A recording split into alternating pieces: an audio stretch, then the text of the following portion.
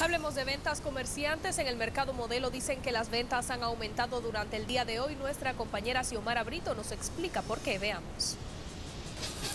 Velones, estampillas y cuadros son parte de los artículos más buscados por los devotos de la Virgen de la Altagracia como parte de las ofrendas para rendir tributo a la patrona del pueblo dominicano a comprar ese velón para la fiesta de esta gracia mañana, para que ayude al país Santo Domingo. Sí, estoy comprando un velón para aprenderse a la Virgen de la Gracia, la madre espiritual del pueblo dominicano. Comerciantes en el mercado modelo dicen que desde tempranas horas de la mañana una gran cantidad de personas han visitado esta plaza para comprar estos artículos. Es de tradición de todo dominicano buscar de una vela, un velón, el que se ha roto una pierna, pues hace una ofrenda de llevarle una pierna de cera.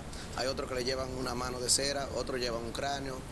Todo depende del problema en que tú hayas tenido, lo hayas resuelto y le hayas pedido a la Virgen de que se te dé. Hoy nada más el y la imagen de Altagracia. La Virgen de la Altagracia es considerada por muchos como protectora y reina del corazón de los dominicanos.